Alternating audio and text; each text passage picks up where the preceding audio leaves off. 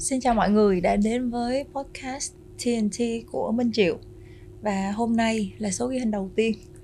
À, Thực ra là để đến với cái buổi ngày hôm nay thì Triệu cũng có rất là nhiều tâm trạng. Mình cũng có một cái sự chuẩn bị rất là háo hức để đón chờ Mình sẽ được nghe gì đây và được chia sẻ những điều gì đây.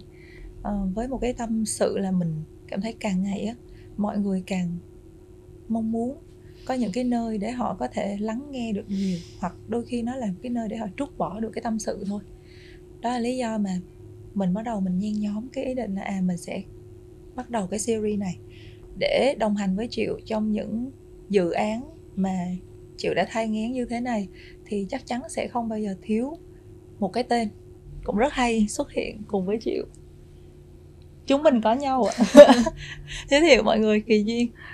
Hi, xin chào mọi người. À, hôm nay thì à, mình cảm thấy à, rất vui. Có rất là nhiều người trước mặt mình như thế này nhưng mà thật sự cảm giác khi mà mình đến với postcard của của Triệu nó là một cái gì đấy nó nó khác trước đây những cái mà duyên đã từng làm. Tại vì thật ra duyên với cả Triệu chúng mình đã nói chuyện với nhau rất là nhiều thứ về rất nhiều vấn đề nhưng mà cũng chưa có một cái lần nào mà ngồi uh, nói chuyện về kiểu như thế này kiểu quay hình postcard như thế này. Ừ. Duy có thích không gian này không? Có kiểu feel like home á.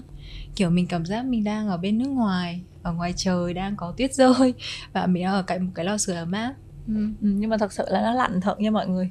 Đó là ngồi đây đang rất là lạnh. Rất là may là, là hôm nay cả cả triệu và cả khách mời cũng đều trang bị cho mình những cái bộ đồ đó rất là ấm áp. Ừ. và hy vọng là nó cũng sẽ giúp cho mình cảm thấy thoải mái hơn ừ. trong cái không gian này. Ừ, vậy đầu tiên thì duyên nghĩ sao về cái tên của podcast TNT à, nhiều chữ T. À podcast TNT là chi là áo thun đúng không? Ừ. à, à, nó tạo cho mình một cái cảm giác nó nó rất là dễ chịu ấy. Nó không phải những cái mình à, cần show up không phải là những cái mình cần trưng trổ sau những cái bộn bề ở ngoài kia, mình về với nhà của mình, thì mình có thể đơn giản mình mặc một cái áo thun, mình uống một tách trà. Và nó tạo một cái rất là thư thái trong cái cái suy nghĩ và trong cái cảm xúc của mình. Ừ.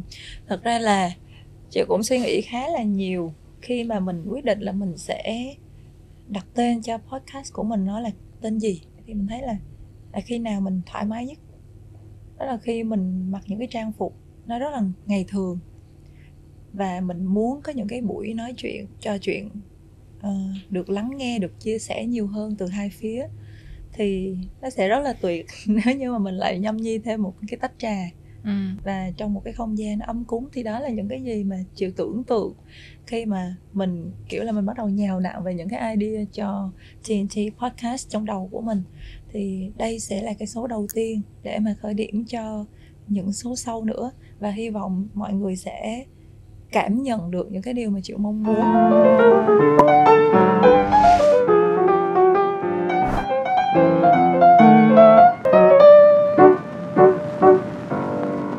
Dạo này duyên thế nào? À, thế nào à?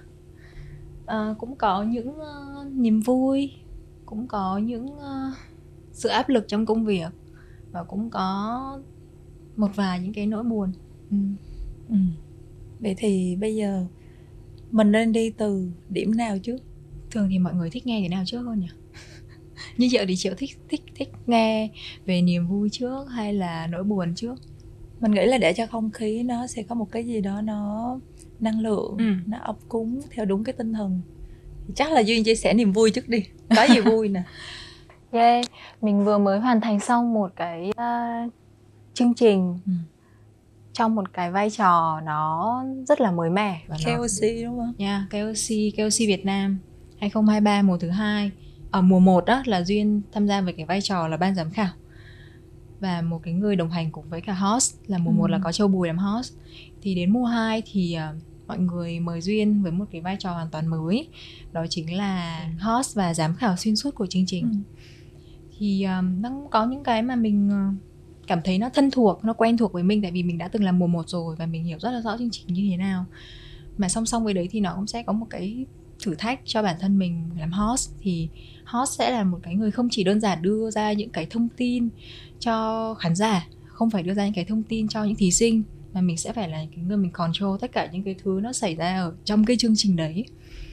Và năm nay cũng có sự xuất hiện của hai người master nữa. Ừ thì đó chính là Luna Đào và Mai Ngô. Thì đây cũng là những người mà họ có những cái cá tính nó rất là mạnh. Và bây giờ ở trong chương trình đó của mình nó có nhiều thứ mới mẻ như vậy. Thì với một cái vị trí mà trước giờ mình chưa từng làm thì mình cũng sẽ có những cái áp lực riêng cho mình. Nhưng mà Thế may mắn nói về niềm vui nhưng mà lại thấy là có vẻ áp lực nhiều hơn ấy bây giờ nói này nhưng mà trộm vía là sau khi kiểu tất cả mọi người trong chương trình về sản xuất này rồi uh, về những cái đội ngũ ekip trong chương trình á, là mọi người cũng từ từ những người ở mùa 1 luôn. Nên là cũng may mắn là mọi người cũng đã làm việc với nhau rồi và mọi người cũng đã hiểu tính cách mọi thứ như thế nào và mọi người cũng rất là quý duyên. Nên là những cái mà mình làm với nhau khi mà cái kết quả xong xuôi mình cảm thấy rằng là mình cũng khá hài lòng với những thứ mà mình thể hiện ở trong đấy. Um, mình còn niềm vui nào khác được không? Có à, niềm vui của mình đó chính là mình thấy uh, minh triệu làm podcast. Tại sao bây giờ làm podcast lại là niềm vui?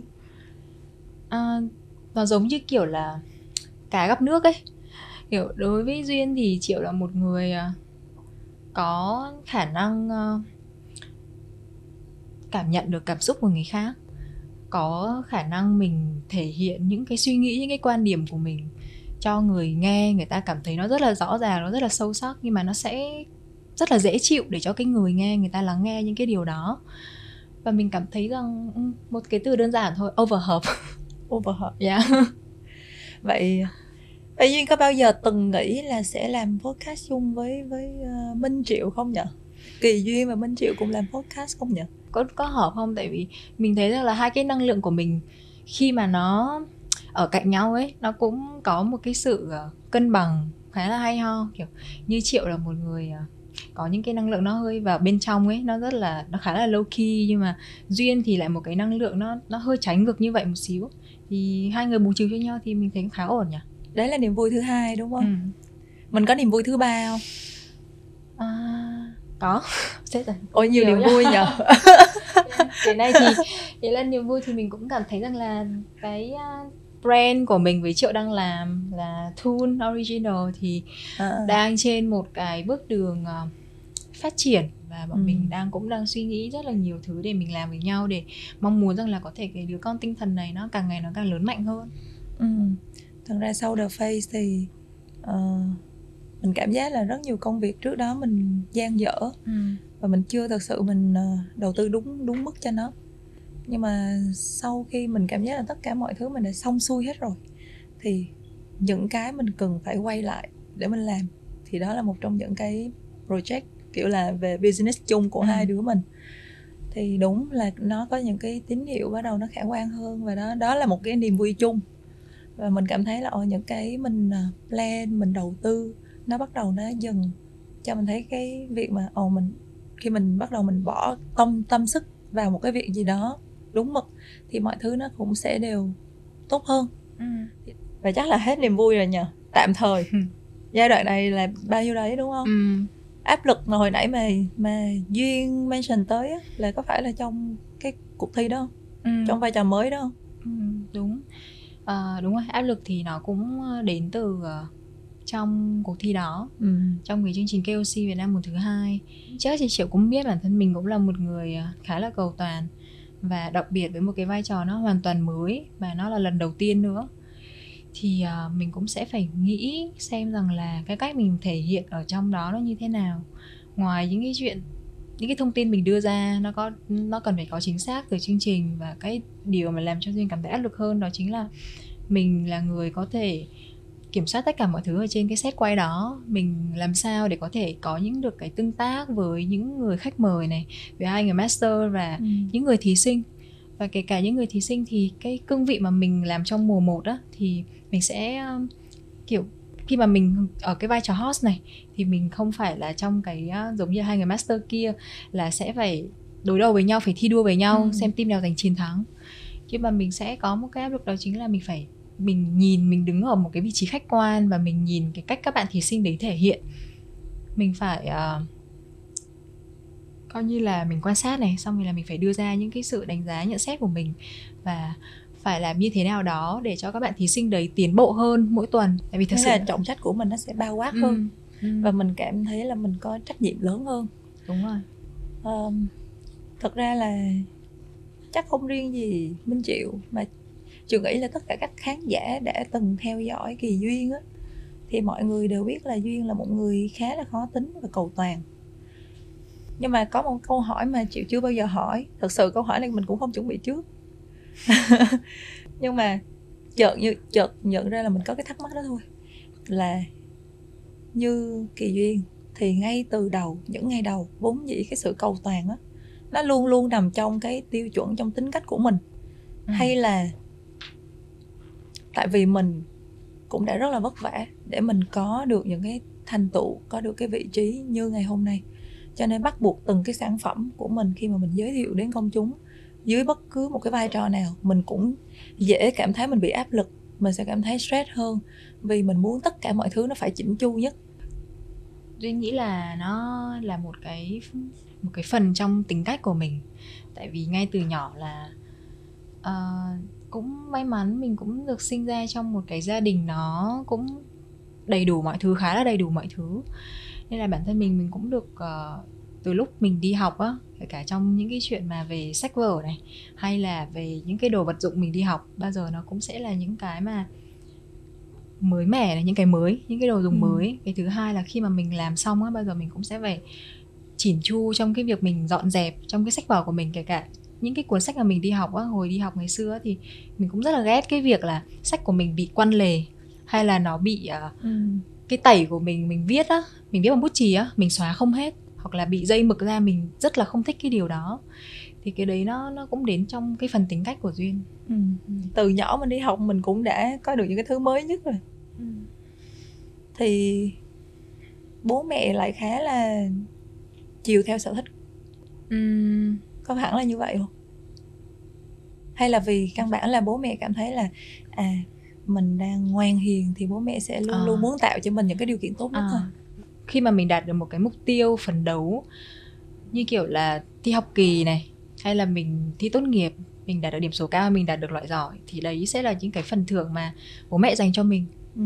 đang nói đến cái việc mà dụng cụ học tập đi thì bố mẹ bao giờ cũng cũng sẽ mua cho mình những cái đồ dùng học tập mới nhá nhưng mà ví dụ như là khi mà mình đạt điểm cao trong kỳ thi học kỳ hay là mình đỗ đại học? Có thể là mình cũng sẽ mong muốn là bố mẹ mua cho mình một cái xe đạp điện mới chẳng hạn. Hay là mình nhớ là ngày xưa lúc đấy là học lớp 12 đi. Thì điểm thi uh, học kỳ cũng thuộc dạng nằm trong uh, top ở trong lớp á. Tại vì lớp 12 là chuẩn bị thi đại học rồi nên là mình tập trung cho cái việc học tập của mình rất nhiều để mình đỗ đại học. Thì được mua iPad này lúc đấy là còn nhớ là cái thời iPhone 5s mà màu vàng á. Ừ. đó. Nên là rồi cái đấy là oách lắm ấy. Đúng rồi. Cũng khá oách. Ừ oách cũng lắm. khá là bảnh. Thế cái việc đấy thì duyên cảm thấy là nó có có lợi gì? Hoặc là nó có gây cản trở gì trong quá trình trưởng thành của mình? Khi mà như mình chia sẻ tất cả những cái gì nó mới nhất ừ. mình sẽ luôn có. Ừ. và nếu như mình có một cái uh, thành tựu thành tích nào đấy thì mình sẽ ừ. được thưởng những cái phần quà như thế. Thì uh, nó cũng có thêm một cái lợi ích nữa đó chính là kiểu mình cũng uh, sớm tiếp xúc được những cái mới mẻ như vậy á thì sau này mình trưởng thành hơn mình cũng sẽ phải cố gắng làm việc mình cũng sẽ sẽ phải cố gắng lao động để mà mình uh, kiếm được tiền mình mua được những cái thứ mới mẻ đó cho bản thân mình. Thế còn những cái không được là gì? Không được à mình có thấy là nó không không hẳn là không được nhưng mà nó sẽ cản trở hơn và yeah. nó nó có thể là nó tạo cho mình những cái uh, à. suy nghĩ nào đó mà mình cảm thấy là uh, bây giờ mình đã lớn hơn rồi mình trưởng thành hơn rồi thì mình nhìn ngược lại mình mới thấy được là ừ. à có thể những cái việc đó nó tập cho mình có những cái suy nghĩ nó có thể chưa hay lắm vào giai đoạn đó ừ. duyên nghĩ là có một cái không được đó chính là các bạn bè đồng trang lứa của mình ấy họ sẽ cảm thấy ờ, mình bị khác biệt với họ quá. Ví dụ là ở thời điểm đấy là đang học ở lớp 12 đi thì iPhone 5s ở thời điểm đấy nó là một cái gì đấy nó rất là kiểu uh, nhìn nó khá là hào nhoáng ấy sành điệu. sành điệu ấy. Và trong khi kiểu các bạn bạn bè đồng trang lứa của mình thì họ có thể họ không dùng những cái điện thoại như vậy đi. Ừ. có những người họ sẽ cảm thấy rằng là ở ừ, bạn này à, sao khác với mọi người như thế thì tự nhiên họ sẽ không họ sẽ tạo ra những cái mà không thiện cảm cho mình tại vì mình khác với mọi người quá. Và thực sự đối với một cái bạn đang học lớp 12 thì có thể cái cái cái iPhone 5s ở thời điểm đó nó hơi quá so với bạn. Nếu mà trong trường hợp mà mình học đại học thì nó chắc là nó sẽ ok hơn. Ừ, thật ra là khi mình lớn rồi ấy, thì mình hiểu là ở ờ, mình sẽ chấp nhận những sự khác biệt. Nhưng mà có thể là với những đứa trẻ thì căn bản họ không không nghĩ quá nhiều. Ừ. nó có thể là đôi lúc họ hơi chạnh lòng hơi ừ. tuổi hoặc hơi nhen nhóm một chút sự ganh tị thì đó chỉ là những cái tính cách nó rất là bình thường khi mà mình còn còn nhỏ thôi ừ. uh, và nghe duyên kể và thật sự là trước đó chị cũng tâm sự với duyên nhiều có vẻ như duyên cũng um, không có quá nhiều bạn bè thân đúng không ừ đúng rồi nhưng cũng không quá nhiều bạn bè thân và đặc biệt là bạn bè thời đi học còn ừ. sót lại vậy thì cái uh, mình có nghĩ là cái lý do gì để mà mình dẫn tới cái việc đấy không? Hoặc là đã bao giờ duy nghĩ là uh, mình sẽ thay đổi như thế nào để nó khác đi không? Nếu mà bạn bè thời đi học đi thì đó thì nó sẽ có những cái trường hợp nó làm cho mọi người cảm thấy rằng là bạn này không người ta không dễ kết nối hay là người ta không cảm thấy mình gần gũi với họ. Và có những người ta sẽ cảm thấy mình khác biệt. Ừ. tại vì thật ra ngày xưa ở nam ở nam định đi. Thì thời điểm đấy để mà có con gái á, mà kiểu cao như giống như duyên ít lắm. Và bản thân về cái ngoại hình của mình thôi mình đã khác biệt với mọi người rồi. Và gia đình mình cũng khá là đầy đủ. Và đó như những cái mà duyên kể thì duyên cũng có những cái phần thưởng như thế. Thì tự nhiên kiểu mọi người sẽ cảm thấy rằng là khó là hòa hợp. Và dần dần dần dần cái cái khoảng cách nó cũng sẽ kéo dài ra hơn. Và sau đó thì ờ, khi mà duyên uh, đăng quang hoa hậu việt nam thì nó lại thêm một cái để cho mọi người cảm thấy xa cách hơn nữa ừ.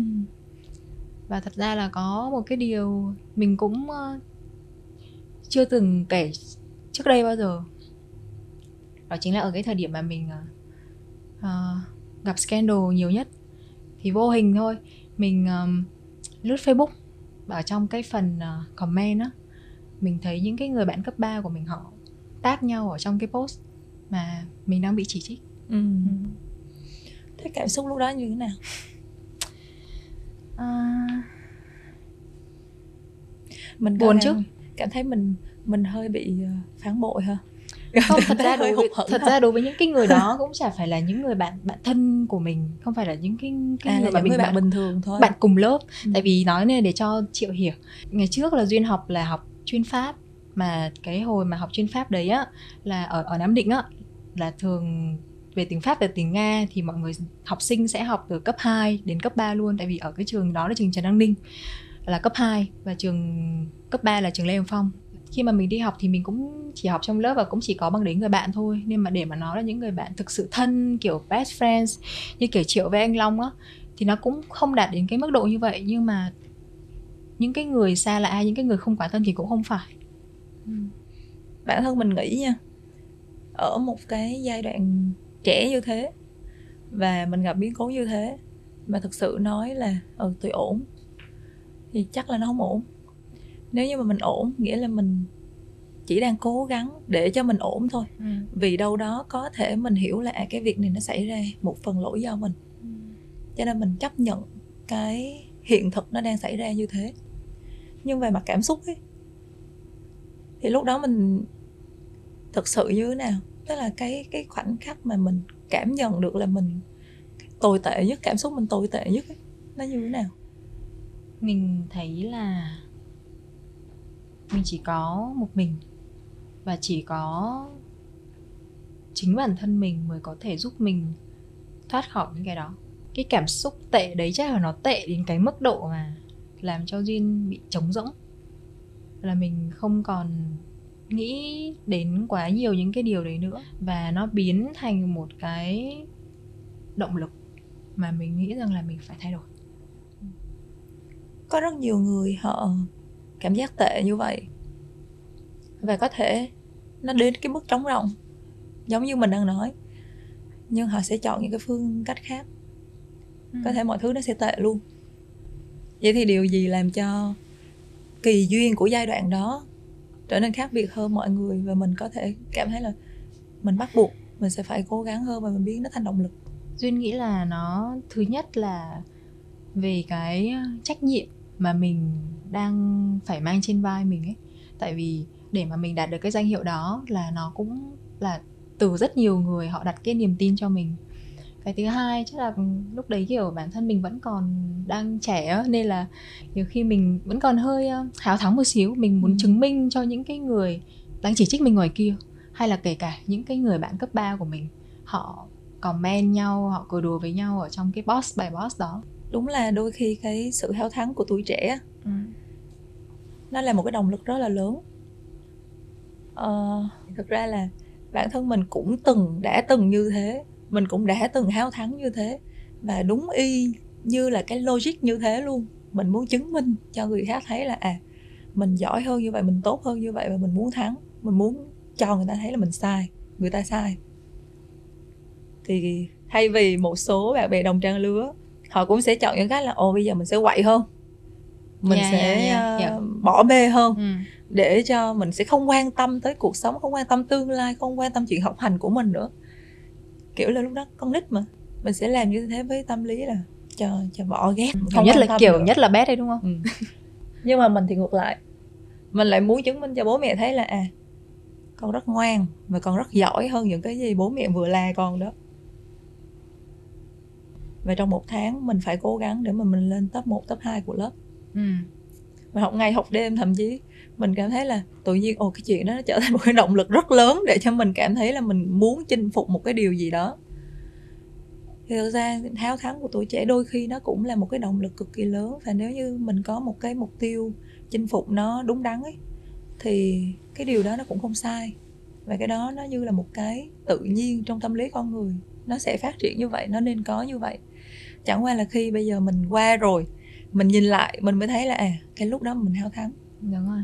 Đúng không? Đúng. Duy lại nhắc tới cái việc là mình cảm thấy mình có trách nhiệm. Bản thân duy là một cái người overthinking đúng không? Ờ đúng. bị nghĩ nhiều đúng không? Đúng đúng. Nghĩa là có cái câu chuyện này vui vui. Kiểu hồi mình mới vào Sài Gòn đấy à, khoảng cuối năm 2016 thì uh, lúc đấy kiểu mình nghe những cái người xung quanh mình họ nói chuyện với nhau. Đối với ừ. người miền Nam đi thì họ nói chuyện với nhau đôi khi họ họ giỡn với nhau những cái câu mà ôi mình nghe mình ở ngoài mình nghe mình tưởng họ đang nói thật á. Thật mình tưởng họ đang nói thật họ giỡn theo cái cách nó quá thật đi. Tức là có những cái câu và xong rồi họ nói họ giỡn với nhau làm cho mình về mình suy nghĩ mấy ngày liền. Đó.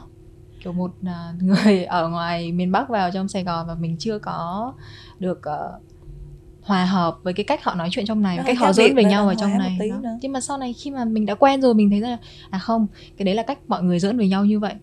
Tức là mình sẽ phải tìm cái cách để giải quyết cho từng vấn đề một. Ừ.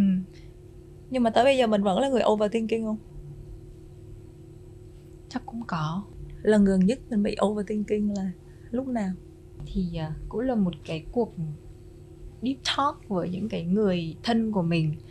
Kiểu giống như là vì đã anh em quá thân với nhau rồi. Nên là có những cái mà họ muốn góp ý cho mình họ muốn mình tốt hơn. Nhưng mà đôi khi cái sự góp ý đấy nó nó bị trực diện quá và nó nhắc đi nhắc lại nhiều lần quá. Nên là mình mình chưa kịp mình uh, tiếp thu những cái lời đó. Mình sẽ nghĩ rằng là ủa chẳng lẽ mình tệ như thế sao? Có những cái mình làm cũng tốt mà.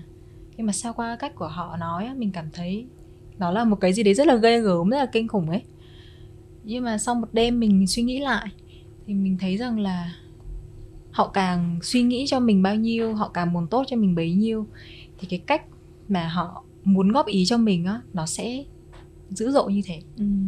kiểu là người ta sẽ rất là quyết liệt ừ.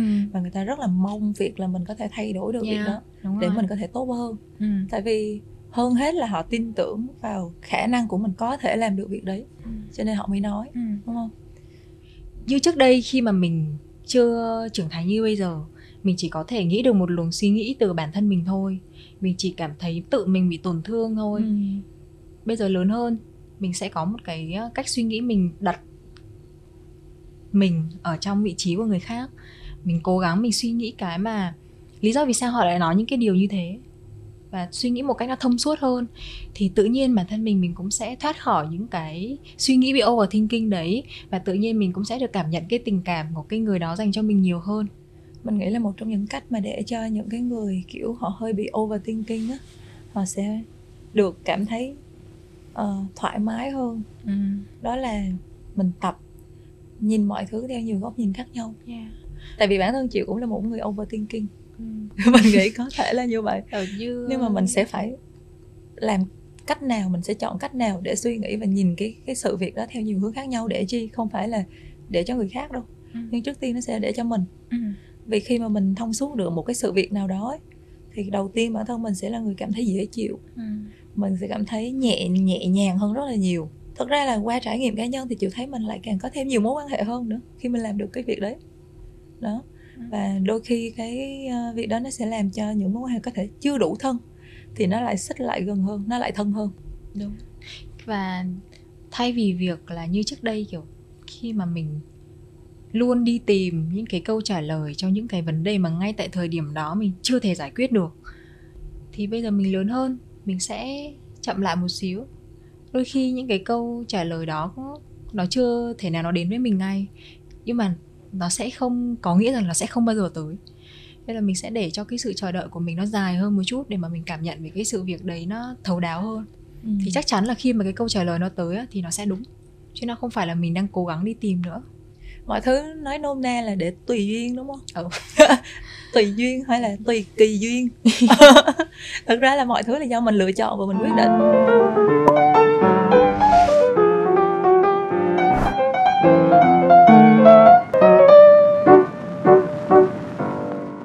đồng hành với duyên thì chắc là phải 5 năm rồi 5 năm bây giờ duyên tự đánh giá đi là bản thân kỳ duyên của những ngày trước khi mà biết Minh Triệu hoặc là đặt cạnh cái tên của Minh Triệu thì Kỳ Duyên là người như thế nào và bây giờ thì Kỳ Duyên như thế nào mình có khác không?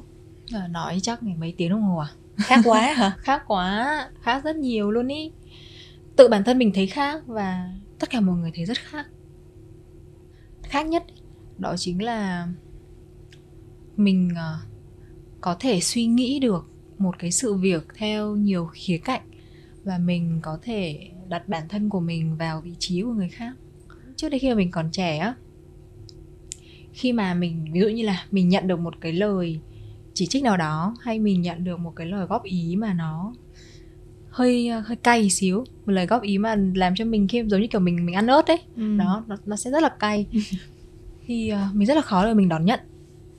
Bản thân mình kiểu cái tôi của mình hồi trẻ mình còn đang rất là cao và mình sẽ luôn đi uh, tự tìm câu trả lời cho mình. Mình thấy rằng là ồ tại sao mình làm gì đến đến cái mức độ mà họ phải góp ý cho mình hay là họ phải chỉ trích mình ghê như thế đâu? Nhưng mà bây giờ lớn hơn thì mình sẽ uh, hiểu được một việc rằng là à thật ra những cái lời góp ý đó là cái điểm mà làm cho mình muốn đón nhận nhất đó chính là từ những cái tình cảm của những người mà người ta đang góp ý với mình. Họ đang thực sự, họ đang quan tâm mình. Họ đang thực sự, họ nghĩ cho mình thì họ mới mang đến cho mình những cái lời góp ý đấy. Đặc biệt là đối với một cái người con gái như duyên là duyên không phải là một người có quá nhiều mối quan hệ bạn bè. Thời điểm bây giờ của mình ờ, xung quanh duyên thì cũng may mắn là cũng có triệu này, rồi là cũng có một vài những cái người anh chị em đồng nghiệp, những người anh chị em trong nghề mình cũng khá là gắn bó và cũng quý cái tính của nhau. Nhưng mà thật sự trước đây mình không có bạn. Ừ, tất cả mọi thứ của mình đều tự một mình mình làm hết. Kể cả gia đình của mình cũng thế. Có những cái nó bị khác nhau quá, nó không hiểu nhau ấy. Nên là chỉ xoay canh một mình mình thôi. Và mình luôn phải đương đầu với tất cả những thứ nó diễn ra trong cuộc sống của mình. Vậy thì chuyện buồn chuyện buồn mà mà mình nói ở lúc đầu thì nó sẽ rơi vào nhóm nào? Nó sẽ là gia đình bạn bè hay thậm chí là bạn bè xã giao trong công việc? Uhm. hay là nó là những um, phạm trù nào khác? Tôi nghĩ là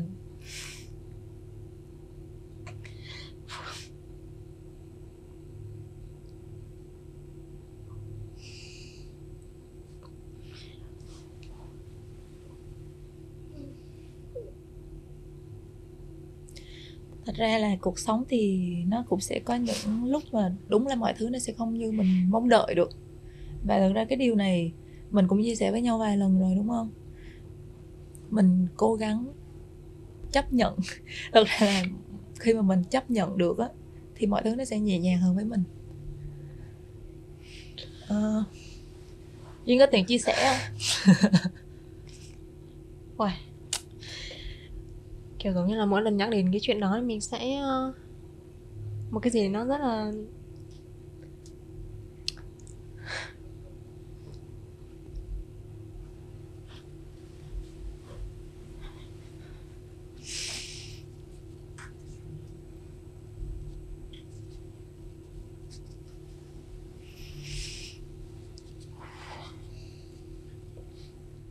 thường khi trước những chuyện buồn mình có hay nói ra không?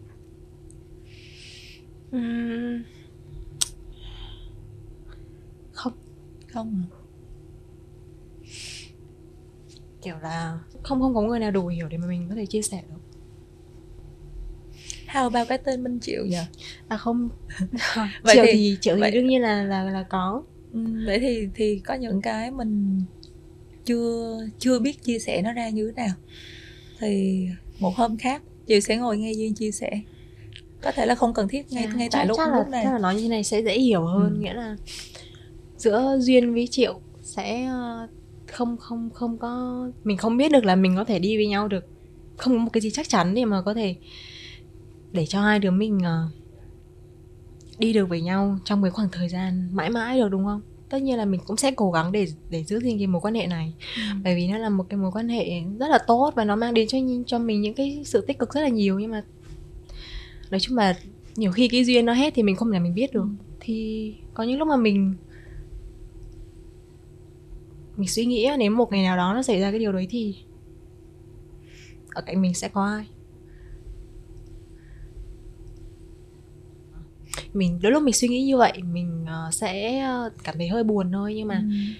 con người của mình trước giờ cũng có những cái thời điểm mấy năm trời mình cũng tự giải quyết những cái vấn đề của mình một mình Ừ thì duyên sẽ không bao giờ để cho tất cả những cái vấn đề nào mình làm cho mình buồn á, nó sẽ biến thành một cái năng lượng tiêu cực và nó kéo bản thân mình xuống. Tại vì mình vẫn luôn ờ, mong muốn rằng là mình sẽ có một cái sứ mệnh.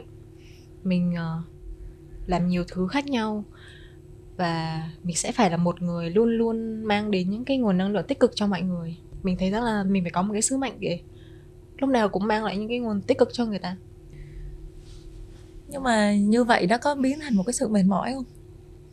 Tức là lúc nào mình cũng cảm thấy là mình sẽ phải cố gắng tích cực. Tại vì con người á uh, không ai lúc nào họ cũng tích cực được. Cũng sẽ có những lúc họ rất mệt. Bản thân mình ngồi đây và mình làm podcast để mình chia sẻ với mọi người nhưng mà thật sự bản thân chị cũng có những khoảnh khắc mình cảm thấy mình rất mệt.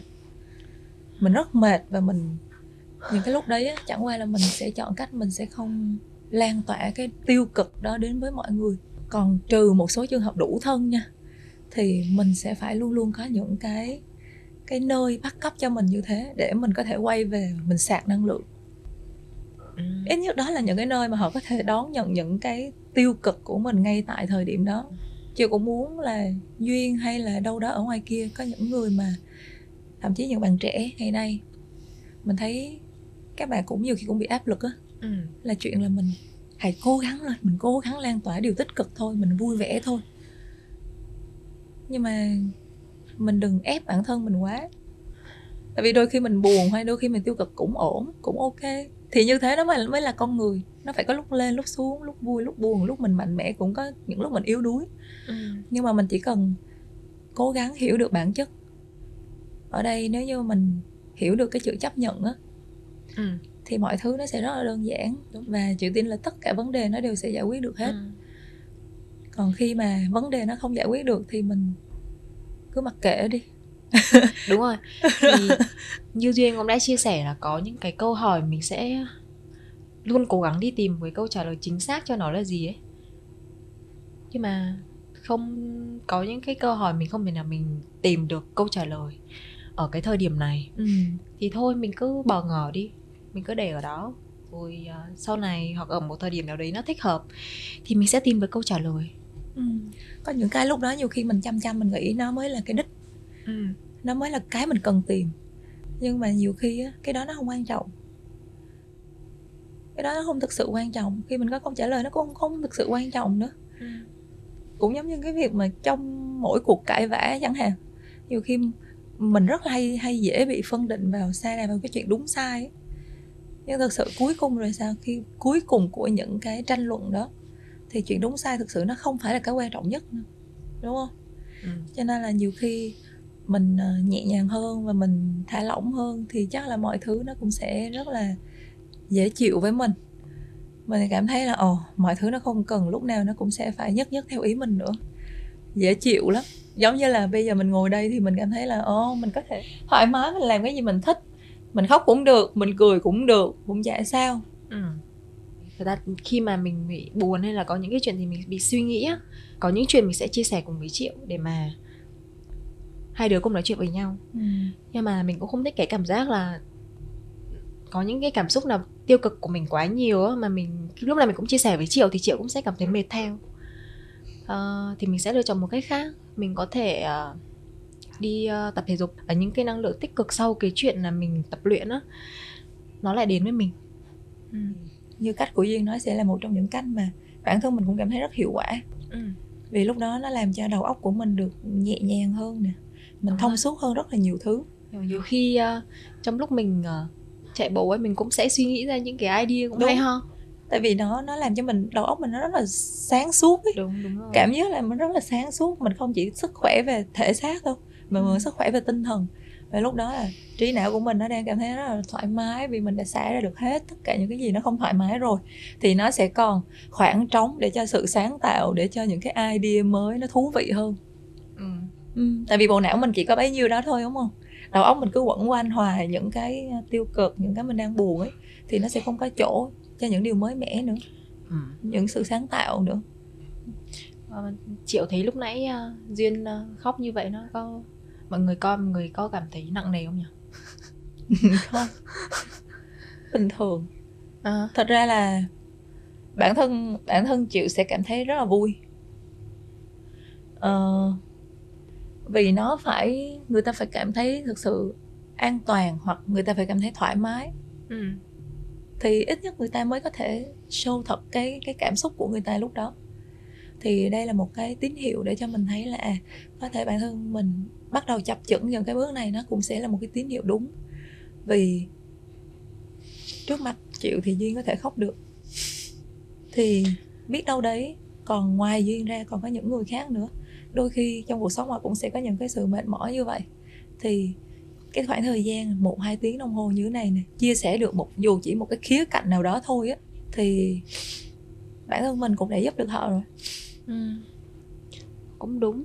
Thật ra là cái uh, cảm giác mà ở bên cạnh uh, triệu á nó mang đến một cái cảm giác làm cho mình cảm thấy rất là thoải mái. Mình không cần phải vướng bận những cái vấn đề xung quanh như là mình hay làm việc. Thật ra là ở đây cũng có đến ờ, ba cái máy quay đấy có rất nhiều đèn nữa. Nhưng mà thật sự mình cảm giác là mình mình ngồi với cái người này mình nói chuyện mình được giải bày những cái cảm xúc của mình. Và đúng thật là sau khi mà duyên khóc xong như thế thì mình cảm thấy vui hơn ừ. à, mình cảm thấy vui hơn nha yeah. tích cực hơn ừ, có thể đâu đó cái vậy họ cũng chưa thực sự hiểu được là ồ tại sao kỳ duyên khóc kỳ duyên đang buồn về việc gì ừ. họ chưa hiểu nhưng mà bản thân mình ấy khi mình mình show ra được cảm xúc của mình là mình làm cho mình đầu tiên mình đã giải tỏa được cái cái việc đó phần nào thì mình ừ. sẽ cảm thấy khá hơn ừ. tại vì rõ ràng là có thể thấy được là duyên vẫn là một người rất thú vị nhưng đôi khi mình sẽ bị những cái định nghĩa là mình sẽ phải như thế này á ừ. thì những cái đó nó sẽ giới hạn mình lại thôi tự nhiên lâu lâu dần lâu dần nó hình thành nên một, một cái hình ảnh ừ. của mình và lập tức khi mình trước máy quay hoặc là khi mình đang làm việc mình sẽ trở về với cái hành chuyên nghiệp của mình ừ. và đôi khi mình sẽ ít thả lỏng lại Đúng. Ừ cái đó là bước đầu tiên, còn khi mà làm nghề đủ lâu á, thì từ từ người ta lại muốn tìm lại những cái sự tự nhiên. Người ta là quay ngược về những cái gì nó là bản năng nhất, nó là thả lỏng nhất, chịu rất mong là duyên sẽ ngày càng enjoy hơn để thể hiện bản thân một cách thoải mái, thả lỏng. Giống như là ngày hôm nay duyên đang ngồi ở podcast, mình cho người ta có những cái lý do để mà khán giả có thể đồng cảm với mình nhiều hơn và thương mình hơn và là những người nghệ sĩ thực sự cái tình thương của khán giả là những cái lớn nhất ừ. nếu như mà mình không thể làm được một cái gì nếu mà mình không có tình thương của khán giả cả ừ. và tin chắc là hình ảnh ngày hôm nay của kỳ duyên sẽ là một cái nó rất là chạm đến cảm xúc của mọi người hơn mình cảm thấy thực sự thoải mái á ừ. để mà mình thể hiện ra những cái cảm xúc của mình như vậy thì cũng một phần chắc cũng ờ, là một cái khả năng của triệu đấy như ngay từ đầu duyên đã nói rằng là triệu có một cái khả năng là nhận thấy được cảm xúc của người khác. Và khi mà mình nhận thấy được thì mình sẽ rất là dễ để mà mình thấu hiểu, mình thông cảm cho những cái cảm xúc đó của họ. Chưa nghĩ là một trong những cái điều mà mình luôn cố gắng giữ nguyên tắc trong tất cả những mối quan hệ. Đôi khi nó sẽ là những cái um, nhược điểm của mình. Nhưng có thể trong trường hợp này nó sẽ là ưu điểm nghĩa là mình luôn cố gắng giữ sự chân thành. Vì à, có thể tôi với bạn không thân đến mức như thế, nhưng tôi sẽ luôn rất chân thành với bạn và tôi luôn show cho bạn thấy những cái gì nó rất là thật, chân thực từ phía của tôi. Trong một số trường hợp thì nhiều khi nó sẽ là những cái cản trở đối với mình. Vì mình cứ giữ mãi cái nguyên tắc như thế thì nghĩa là mình sẽ có một cái cách chọn lọc rất là sát sao với những mối quan hệ xung quanh tại vì mình sẽ ít nhu cầu để xã giao lại. Và đôi khi cái việc đó sẽ làm cho mọi người cảm thấy mình khó gần hơn chẳng hạn. Cộng với giao diện của mình thì có thể người ta sẽ thấy ồ mình rất là chảnh mình rất là lạnh các thứ. Nhưng một nhưng khi mà... đã gần được rồi là sẽ là gần sát gần sạt luôn đấy. Ừ, thì thì chị nghĩ là đó là một cái tốt uh, cho nên mình mới giữ. Và cái đó nó nó cũng chỉ là cái quan điểm và cái lựa chọn của mình cho những cái mối quan hệ xung quanh thôi. Tức là ví dụ đi có thể hỏi mình một câu. À, mình có thể nói là ờ, cái việc này mình chưa chia sẻ được. Nhưng mình sẽ không lựa cách là mình sẽ chia sẻ một cái câu trả lời sai sự thật. Ừ. cái đó là một dạng chân thành mình dành cho cái người đối diện của mình. Đúng. Và mình cũng cho họ thấy rất là rõ là à tôi với bạn đang ở giới hạn nào. Có thể mình không quá thân nhưng tôi rất tôn trọng bạn tôi rất quý bạn. Còn phạm trù thân nó sẽ là một phạm trù khác nữa. Thế như thế nào đối với minh triệu thì là một người bạn thân? Uhm. định nghĩa về một người bạn thân á, thì thực ra là nó cũng có rất là nhiều cái định nghĩa. Nhưng mà việc đầu tiên là mình sẽ tin tưởng. Uhm. mình sẽ rất tin tưởng người đó. Uhm. mình hiểu người đó và mình luôn không không tính toán cái chuyện là mình được hơn hay là mình thiệt cái gì trong mối quan hệ đó. Và chịu nghĩ là để làm được những cái việc đấy á, thì mình cũng sẽ phải qua nhiều cái giai đoạn trước đấy để mà mình đồng hành với nhau hoặc là mình cùng vượt qua những cái khó khăn nào đó hoặc mình cùng nhau giải quyết những vấn đề nào đó. Thì qua những cái lần giải quyết như thế nó như những cái phép thử. Ừ. vậy thì à, ví dụ như là chị đưa ra một ví dụ đi về ờ, một cái người bạn thân hiện tại đối với triệu bây giờ thì sẽ mất khoảng bao nhiêu năm để mình có thể kiểm chứng được cái người đó trở thành một người bạn thân của mình? Thật ra mình chưa bao giờ nói với nhau là mình thân cả. Với những người bạn thân á chịu chưa bao giờ nói với họ là à mình thân nha, mình là bạn thân nha. Chưa bao giờ mình làm điều đó, nhưng mà mọi người sẽ tự hiểu với nhau là mình đang thân hay là không. Nó thể hiện qua cái cách mà mình sẽ quan tâm tới người đó. Mình sẽ chia sẻ những cái gì với người đó. Mình đặt niềm tin ở người đó như thế nào. Thì chắc là mối quan hệ mà bạn thân lâu năm nhất thì chắc anh Đỗ Long. Ừ. Ừ, mười mấy năm rồi. Là và mình cũng không hề nhớ được là à từ cái giai đoạn nào mình chính thức gọi là thân. Nhưng mà mình nghĩ là ai rồi cũng lớn rồi. Thì từ từ cái cảm nhận của mình á nó nhạy cảm hơn. Và mình cũng sẽ dễ cảm nhận được cái việc đấy hơn. Triệu nghĩ rằng là bây giờ mà Duyên đi kết bạn với một người bạn mới thì chắc cũng khó đúng không? Nếu mình nghĩ là khó thì nó khó thôi. Mọi mối quan hệ trong cuộc sống á Chị tin là nó luôn có một cái cơ duyên. Thì khi mà cái cái cơ duyên đó nó đúng thời điểm nó đủ lớn ấy, Thì tự động mọi thứ nó sẽ bền chặt hơn Vậy thì mình sẽ phải có hai cái duyên để mà mình kết kết bạn với một người bạn thân mới. Đó chính là cái duyên đầu tiên là mình sẽ phải gặp được nhau cái đã. Còn cái duyên thứ hai là sẽ có lên một cái level mới có thể thực sự hiểu nhau có thể thực sự là chân thành với nhau để trở thành một người bạn thân hay không. Uhm. đúng, đúng. Cho nên đôi khi trong những mối quan hệ thì mình cũng sẽ cảm thấy là à, mình cần có có sự cố gắng mình phải có sự cố gắng để bồi đắp mối quan hệ đó. Nếu mình xem trọng họ mình phải có sự cố gắng. Cố gắng mà mình ép nó quá thì nó không còn sự tự nhiên nữa. Mà cuộc sống mình nó hay là tại vì nó có những cái cơ duyên mình không nghĩ tới. Cho nên nhiều khi mình cứ mãi sắp đặt làm gì trong khi những cái đấy mình cứ để kiểu là let it be. Tiếng anh có một câu mà, mà nó rất là hay như thế. Ừ. mình cứ để nó tự nhiên đi cái gì đến nó sẽ đến. Vậy thì à, cơ duyên nào mà tự nhiên mình lại nghĩ ra cái câu chúng mình có nhau ấy vậy? Sao lại là chúng mình có nhau? Thôi cũng may là chúng mình có nhau chứ. Chúng mình mất nhau là sợ nha. À nhớ rồi. Tại vì ngay từ đầu bước đến cuộc thi thì thật sự là cũng chả có cái gì chắc chắn hết. Thì chỉ đơn giản một việc là khi mà mình đến với cuộc thi thì có duyên và có triệu thôi. Thì đó là một cái mà mình mong muốn là giữ vững trong cái cuộc thi đó và là một cái điều tích cực mình muốn khán giả thấy được là khi mà duyên và triệu ở cạnh nhau có nhau thì bọn mình sẽ có thể làm được những điều gì trong cái lĩnh vực chuyên môn của mình? Và một lần nữa thật sự nó chứng minh cho cái việc cơ duyên mình mình mình cũng nên tin. Mình đâu có bàn với nhau trước về cái slogan đó đâu. Ừ. nhưng tự dưng uh, còn nhớ là trong một cái buổi chạ kỳ xong mình uh, nói chuyện và trong tất trong bối cảnh và tất cả mọi thứ như thế tự dưng mình mới thấy là ồ đúng tự nhiên mình nói một cách nó rất là bộc phát mọi thứ rất là tự nhiên. Ừ. và khi mình nói xong rồi mình cảm thấy là ồ tự nhiên cái này đúng. Cái này ừ. nó rất là đúng, đúng. và nó rất phù hợp với team của mình. Tự nhiên kiểu nó lại rất là viral. Ừ. kiểu đi đâu mọi người cũng nói chúng mình có nhau chúng mình có nhau. Hoặc là kể cả những cái chương trình khác mọi người cũng nói đến cái câu nói của mình giống như là The Masked Singer nhỉ? Ừ. ờ có thấy có thấy mọi người tắt vào thì thực ra là rất là vui tại vì dù cho cái cái xuất phát điểm cái câu nói đó nó ra đời trong hoàn cảnh nào đi chăng nữa nhưng mà khi mình nói ra với một cái tâm thế rất là lạc quan và mình muốn truyền đến những cái năng lượng tích cực ấy thì cuối cùng mọi người cũng sử dụng được cái câu nói đó để mà truyền đi những năng lượng tích cực yeah, và thậm xác. chí tạo ra được những cái sự vui vẻ ừ. thì mình cũng cảm thấy vui rồi ừ. nó cũng đã đúng với cái tinh thần mình mong muốn ừ. mặc dù là lúc mà mọi người coi lại cái cái phần uh, quay uh, quay clip nhờ quay clip A lên nhờ coi cũng hơi giật mình đấy.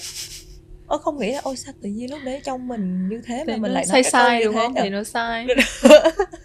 Em cũng sai thiệt. Ý là kiểu trong khi những người mentor khác thì rất là đang là máu chiến rồi ừ. tự nhiên kiểu hai đứa mình giống như là đang đang nói một cái câu khẩu hiệu trong lớp vậy đó.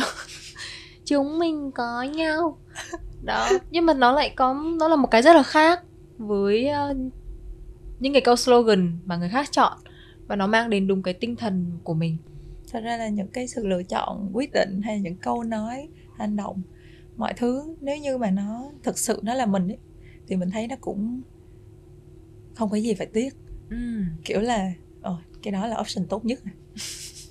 Và cũng lần đầu tiên chị với duyên làm việc chung với nhau trong một chương trình như thế đúng không ở ừ. một vị trí như thế thì nó cũng sẽ là một cái thử thách cho mình để mình có thể hiểu nhau hơn ừ.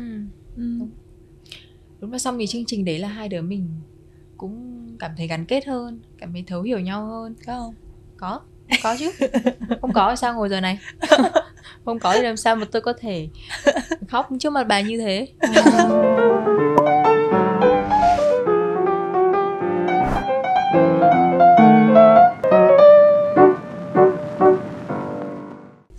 quá trình mình trao đổi rồi mình tâm tình nãy giờ ấy.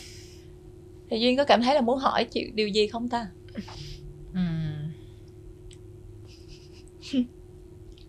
Chắc là duyên cũng sẽ hỏi lại ba cái điều mà lúc uh, đầu chị hỏi duyên. Nhưng mà về niềm vui thì chắc là duyên cũng đã cảm nhận được những niềm vui của triệu là gì rồi. Về uh, nỗi buồn đi. Về nỗi buồn thì triệu có những nỗi buồn nào ở trong thời điểm này? Uh, tại vì chị không phải là một người mà cũng ờ, dễ dàng thể hiện những cái cảm xúc đó ra bên ngoài á. Có những lúc mà duyên cảm nhận được là chị cũng có những cái nỗi buồn riêng cho mình. Nhưng mà thông qua postcard này thì duyên cũng muốn là chị cũng có thể nói cho mọi người cùng biết xem ở trong thời điểm này chị đang cảm thấy buồn và áp lực về điều gì. Tại vì khi mình đang ở đây và mình bắt đầu làm cái series về podcast như thế này á, nghĩa là bản thân mình đã bắt đầu mình tĩnh lặng được hơn rồi. Mình bình tâm được hơn rồi. Để mà mình có thể sẵn sàng mình nghe và mình chia sẻ. Uh, cho nên đang trong một cái trạng thái nó khá là thả lỏng và mình đang enjoy với những cái nó xảy ra hàng ngày với mình. Ừ. có thể mình chưa nghĩ ra áp lực là gì. Vì bản thân chị cũng là người đơn giản lắm mọi người. Người đơn giản hay là người chịu được áp lực rất tốt hay là không thể áp lực gì? À, cái đó đơn giản là... là không đúng đâu nha. Không đơn giản nghĩa là mình cũng đơn giản trong cảm xúc à. mình rất là tôn trọng cảm xúc của mình. Và lúc đó mình enjoy cái gì mình làm cái đó. Đó thì mình cũng tôn trọng cảm xúc nghĩa là khi mà mình cảm xúc gì mình sẽ thể hiện ra như vậy. Còn nỗi buồn thì trước đấy thì có nhưng mà chị nghĩ là bây giờ nó không không còn là nỗi buồn nữa. Ừ. tại vì mình luôn luôn có một cái tư duy như thế này. Uh, với những điều mà làm mình buồn á mà mình không có hướng giải quyết thì mình nên let it be ừ. mặc kệ nó đi à. ok thì khi mà mình thông suốt nó, mọi thứ nó sẽ không còn buồn nó không còn nặng nề tại vì sao tại vì mình có nhiều thứ khác mình muốn lan tỏa năng lượng nhiều hơn mình không muốn tiêu hao cái năng lượng của mình cho những việc nó không còn đáng nữa ừ. Ừ. cho nên là buồn chắc chắn là khi nó vừa mới xảy ra mình sẽ buồn nhưng thường là tất cả các nỗi buồn chịu hay cho nó một cái hạn kỳ. Ừ. để mà mình có thể giải quyết nó. Vậy một câu hỏi cuối như thế này là nghệ sĩ để mà có thể làm ra những cái sản phẩm thì họ sẽ có cần phải có rất nhiều cảm xúc ở trong đấy. Cá nhân của triệu khi mà chính những cái nỗi buồn mà đến với triệu thực ra là có những cái nỗi buồn đó duyên duyên biết và nó rất là kinh khủng đối với triệu nhưng mà triệu có một cái cách giải quyết rằng là, ok, những cái nào mà mình không giải quyết được thì mình let it be thì cái nỗi buồn đấy nó sẽ không ở trong trong cái suy nghĩ của mình nữa. Thì chị có nghĩ rằng là đối với một người nghệ sĩ, khi mà họ không có những cái nỗi buồn, không có những cái cảm xúc kiểu dạng như vậy, thì nó có phải là một cái điều nên không? Trước tiên là mình phải làm rõ chị là một người có thể chiêm nghiệm nỗi buồn. Và đôi khi mình cũng yêu nỗi buồn nữa có một cái giai đoạn á mà mình cảm thấy là ủa sao cuộc sống mình nó cứ vui hoài vậy trời? Hoặc là nhiều khi nó không không hẳn là nó vui đi nhưng mà ủa sao lâu quá rồi mình đang không có cái gì mình buồn hết? Mình sẽ nhớ cái cái cái cảm giác mà mình buồn nó như thế nào ấy. Cho nên là mình không phải là mình sợ nỗi buồn mình có thể đồng hành với nó. Nhưng mà vì nỗi buồn khi mà nó đồng hành với mình quá lâu á nó sẽ làm cho mình tiêu hao rất là nhiều năng lượng và mình không có khả năng để mà mình tiếp những cái năng lượng mới vào ừ. giống như nó đã choáng chỗ mất rồi một người mới bước vào đi tự nhiên có người đứng ngán ngay cửa rồi thì làm sao người ta pass qua được ừ. thì cái năng lượng nó cũng giống như vậy cho nên là mình hay cho hạn kỳ cho nỗi buồn là như vậy mình ừ. sẽ tùy vào cái um, cái sự việc đó là cái gì nặng nhẹ ra làm sao nó làm tổn thương mình nhiều hay ít mình sẽ cho nó một hạn kỳ và mình bắt buộc mình phải giải quyết nó trong cái hạn kỳ đó ừ. còn khi mà cái nỗi buồn đó nó rơi đi rồi thì là một người nghệ sĩ thì mình sẽ có một cái sự nhạy cảm nhất định và bản thân chị cũng là một người nhạy cảm chắc là duyên biết có thể là nhìn mình mạnh mẽ như thế thôi nhưng mà xem phim thì những cái gì mà nó chạm tới mình á thì mình lại rất là dễ khóc ừ. ờ, cho nên là mình có cái sự nhạy cảm đó và ừ. mình luôn rất nhớ là à, khi mình buồn mình sẽ như thế nào cái nỗi buồn có thể qua đi nhưng mình luôn nhớ cái cảm giác đó là nó là gì ừ. thì mình sẽ không sợ là mình sẽ là một cái người vô cảm ấy vậy là đó là cái cách giải quyết nỗi buồn của triệu ừ. và có thể với những người khác thì người ta sẽ có những cái cách giải quyết khác nhau. Ừ. ví dụ như duyên thì cái uh, nỗi buồn của mình thì uh, mình sẽ không bao giờ mình mình quên đi hay là mình có cái cách giải quyết giống như triệu nhưng mà mình sẽ không bao giờ mình để cho nó lúc nào cũng đeo bám mình. Ừ. nhưng mà nó sẽ luôn là một cái ở trong con người của mình. Để mỗi khi mà mình nhắc về đó thì mình sẽ có những cái cảm xúc giống như vậy. Khóc xong một cái là cái nỗi buồn đấy nó lại đi đâu mất đó nhưng mà nó vẫn sẽ ở trong cái con người của mình ừ. đó là một cách mà mình nhớ về cái cảm xúc đó và ừ. mình lưu giữ nó ừ. nhưng không có nghĩa là mình cứ phải đồng hành nó mãi mãi nó cái chỉ gì? là nằm một góc và mình đã trải lắm. nghiệm rồi yeah. mình hiểu nó rồi thì mình ok mày mày đi được rồi mày đừng ở lại với tao nữa kiểu vậy buồn như thế đủ rồi đấy thì uh, nhưng mà trong tình yêu thì sao trong tình yêu thì thì duyên có lưu lại những cái cảm xúc nó sâu hơn không nó sẽ phải phụ thuộc vào cái người đó là ai và người đó như thế nào nghĩa là tùy vào cái mức độ cảm xúc của mình ừ. nó sâu tới mức độ ừ. nào ừ. thì mình sẽ có thể giải quyết nó nhanh hay chậm tùy vào đấy ừ. thế bản thân duyên có phải là người may mắn trong tình yêu không trong tình yêu thì à, may mắn hơn là trong tình bạn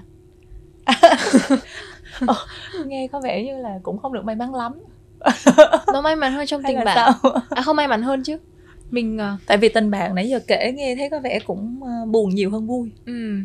nhưng mà tình yêu chỉ may mắn hơn tình bạn ấy thì nghĩa là ok cũng khá khẩm hơn xíu thôi. Chứ cũng không không có không có ok lắm.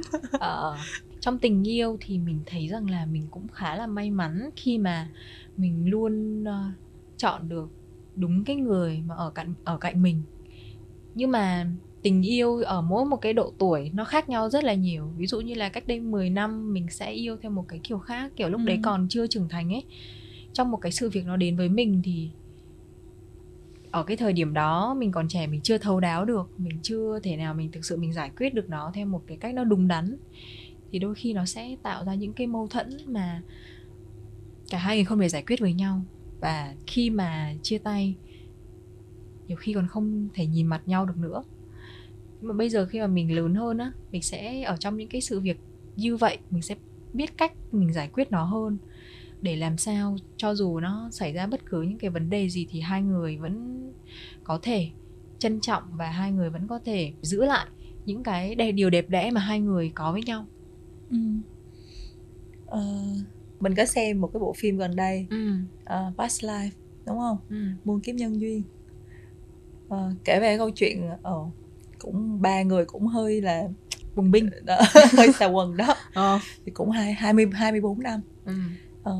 thì duyên có nghĩ là ở ờ, những cái nhân duyên như vậy có, nó có hợp với cái tuyết người của mình không thật ra là cái hay câu... là mình sẽ là cái mẫu người mà mình sẽ rất là rõ ràng mình sẽ không bao giờ để mọi thứ nó đi xa ừ. như vậy ừ, giải quyết ngay lập tức kiểu vậy bản thân mình chưa bao giờ trải qua những cảm xúc đó ừ. chưa bao giờ trải qua những cái câu chuyện tình yêu nó giống như vậy ừ. thực sự khi mà mình xem xong cái phim muôn kiếp nhân duyên đó nó giống như là mình được tiếp thu với những cái kiến thức mới về tình yêu ấy. Thế mình luôn trải qua những cái mãnh liệt. có có những trải nghiệm như thế không? Mình có, có. mong không? Có. Tại vì uh, những cái điều mà nó diễn ra trong một khoảng thời gian rất là dài như vậy ừ. thường một cái mối quan hệ một cái mối tình diễn ra trong nó kéo dài trong vòng 2 năm 3 năm đó là một cái mối tình sâu đậm rồi. Nhưng mà bây giờ nó là một cái mối tình nó diễn ra trong vòng 24 năm trời. Nó phải là những cái những cái điều mà họ rất là trân trọng nhau họ phải luôn nghĩ về nhau nó mới có thể kéo dài trong khoảng thời gian lâu như thế được. Thật ra là hai người đấy còn chưa bao giờ nói chuyện là sẽ là người yêu cơ. Nó nó hơi trên tình bạn dưới tình yêu một tí chứ cũng không hẳn gọi là người yêu nữa. Ừ. chỉ như thế thôi nó chỉ lưng chừng như thế thôi. Nhưng mà nó có thể kéo dài 24 năm. Dài lắm ấy nhỉ? 24 năm là dài lắm bây giờ mình bao nhiêu tuổi ấy nhỉ? Mình có thể tạm không nói số tuổi ở đây. Có thể là mối tình đấy là dài gần bằng độ tuổi của mình đấy. Ờ, thêm 3 năm nữa là bằng tuổi của mình bằng tuổi của duyên. Ờ, ừ. siêu dài à, thật ra là ngày hôm nay mình cũng đã có những cái chia sẻ rất là đa dạng nhỉ công việc có này tình bạn. tình bạn có này tình yêu cũng có này. À, thật ra là rất là vui và trân trọng vì duyên đã có thể gạt bỏ những cái sự không thoải mái hoặc là những cái hình ảnh chuyên nghiệp khi mình đang đi làm. Để có một cái kỳ duyên rất khác ngồi đây ngày hôm nay và tâm sự có những cái chia sẻ rất cởi mở thế uh, thế triệu có cảm thấy thương duyên hơn không? Chị thì lúc nào cũng thương duyên. Ừ. thật sự là duyên nhỏ hơn chịu tận 8 tuổi. Mình hiểu là với cái khoảng cách đó thì đôi khi họ sẽ có những cái trải nghiệm nó sẽ không giống như mình. Và có thể duyên sẽ cố gắng để duyên hiểu chịu nhiều hơn. Uh, phải chạy theo chiều rất nhanh để có thể bắt kịp được những cái suy nghĩ nhưng mà mãi mãi thì duyên vẫn luôn luôn nhỏ hơn chịu 8 tuổi. Ừ. nhiều khi duyên đã bắt kịp 8 tuổi thì chịu đã thêm 8 tuổi nữa rồi. Khi mà mình hiểu được cái chân lý đó thì bản thân chịu trân trọng những cái sự cố gắng của duyên nhiều hơn để mà hai người có thể hiểu nhau hơn có nhiều cái sự gắn bó đồng hành hơn với nhau không chỉ trong công việc mà còn trong đời sống hàng ngày nữa. Vậy thôi chúng mình sẽ cùng cố gắng để mà giữ gìn cái tình thương đấy 8 tuổi nó là một cái số tuổi mà như chị cũng đã nói. Nhiều khi mình sẽ không bao giờ mình bắt kịp được nhưng mà khi mà cái tình thương của chúng ta dành đủ cho nhau thì duyên cũng sẽ cố gắng nhanh hơn một xíu và triệu cũng sẽ cố gắng chậm chậm lại hơn một chút thì để mà chúng ta sẽ cùng gặp nhau ở cái chính giữa. Chịu là đang chậm lắm rồi đó. Chậm đến độ là chịu bắt đầu nghĩ đến việc làm ờ, podcast là chịu chậm lắm rồi đó nha. Rồi cảm ơn vì cái sự chậm lắm đấy của triệu chị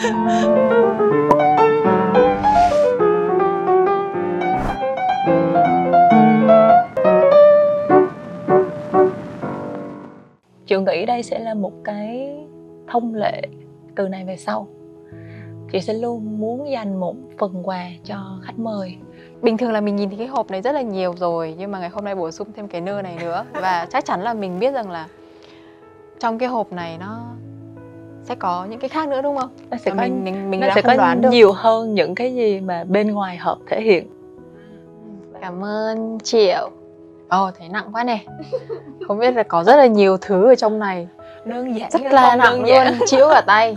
Cảm ơn uh, Triệu rất là nhiều vì uh, cái uh, món quà này và cảm ơn Triệu đã có sáng tạo nên một cái postcard TNT và cảm ơn cái sự thấu hiểu trong cảm xúc của Triệu khi mà mời Duyên hôm nay đến đây. Đúng nghĩa là được ăn, được nói, được gói mang về á mọi người. có một cái gói quà rất là nặng nha, rất là to ở trong này thì Duyên nghĩ là bất cứ một người khách mời nào đến đây thì họ cũng sẽ có một cái cảm xúc trọn vẹn như bây giờ Duyên đang có. Ừ. Hài lòng cho 10 điểm. hơi rộng tay nha mọi người 10 điểm hơi rộng tay Ngày hôm nay đến đây thì cũng không có gì để chê nữa rồi.